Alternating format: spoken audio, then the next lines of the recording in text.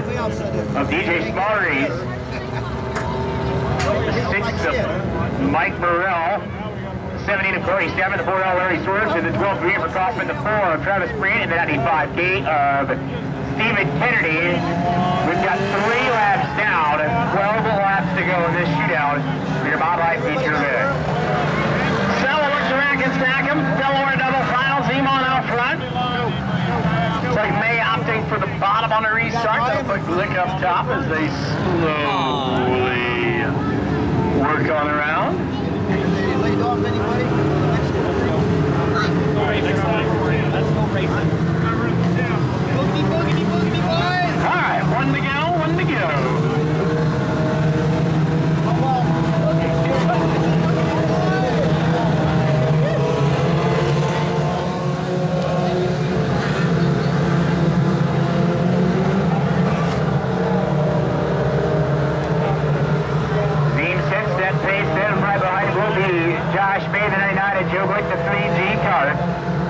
Got three laps down. It's 12 laps to go. They'll tiptoe their way to turns three and four, where Zeem will pick it up somewhere in the middle of turns three and four, right around that light pole down there, where they'll pick up the throttle and get the green flag when they come off of turn four.